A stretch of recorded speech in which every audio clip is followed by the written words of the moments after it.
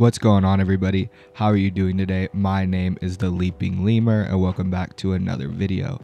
Before I start this video, if you could please like, comment, and subscribe, that would be greatly appreciated. I make a bunch of content on a lot of lolcows. If you want to stay updated, make sure you click that subscribe button so you can see all the new videos that I post. Today, I have some crazy news involving a post I seen on the r slash Daniel Larson fan subreddit.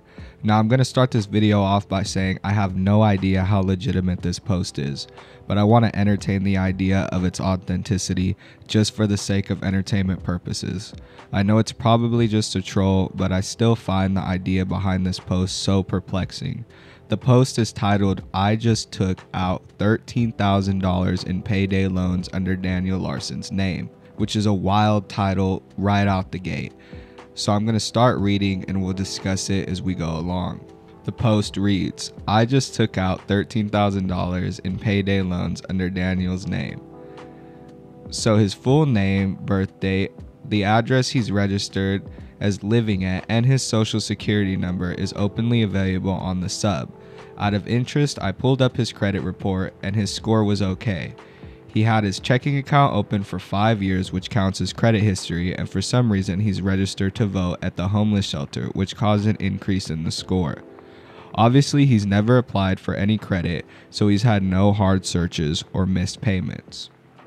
Now, I dislike Daniel as much as the next guy, but I find it creepy to look so deep into this guy, to go so far as to run a credit check on him, but then to go and post about your fraud for clicks is another level of buffoonery.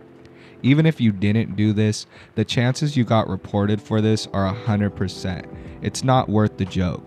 And if it is real, then you just snitched on yourself. So either way, it's just not worth the clout. The post continues. I did some digging and found this banking app called Chime where you could open a checking account without having to submit an ID. I then opened a checking account in Daniel's name. I then went on every payday lender site I could find and applied for a $500 payday loan with Daniel's details and had the money deposited into this account. In total, I was approved for 26 loans, so the balance of the account was $13,000. I then opened a Binance account using Daniel's details and purchased Bitcoin using the money.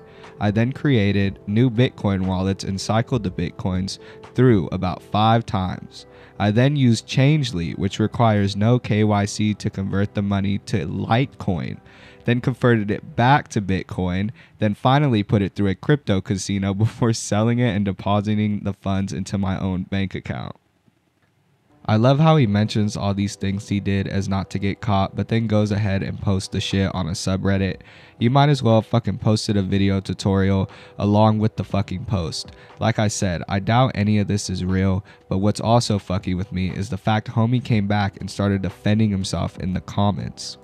We got this comment here where someone says, Doubt this is real. Payday loans require proof of income and 26 credit inquiries would trigger fraud alerts.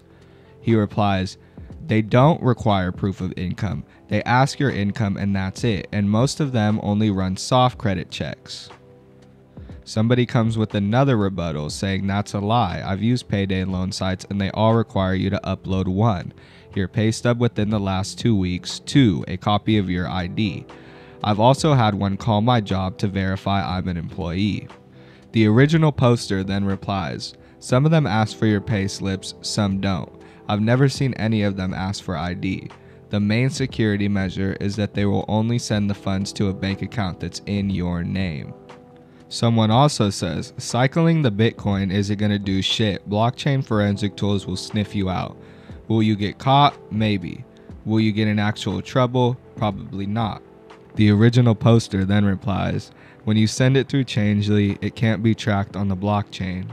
The same guy then replies, I don't know how much confidence I have in Bitcoin mixers. Every couple of years, there's 1 billion plus Bitcoins bust due to ineffectiveness of corresponding tech. The original poster responds saying, They aren't going to investigate this. Stuff like this happens every day. They just write off the debt and move on.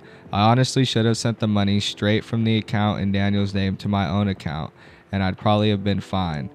I only took all these extra steps as a precaution. But then why are you posting it on Reddit, you dumb fuck?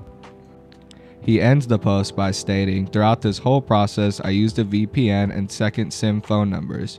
Daniel's life will never be negatively impacted by this debt. The only people who lose out are the payday loan companies. It could have been a farm rage bait, but either way, I found this whole interaction so fucking funny. The fact he posted this seemingly with the intention to come off smart and gain praise, only for the aftermath to be the exact opposite, is truly poetic. But let me know what y'all think about this in the comments.